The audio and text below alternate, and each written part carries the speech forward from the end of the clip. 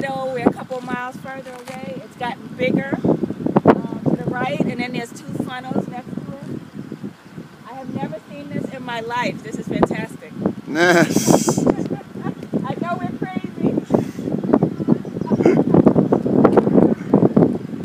look at this crazy, crazy. It's pretty big, yep. Wow. It's getting bigger and just sitting there. Wow.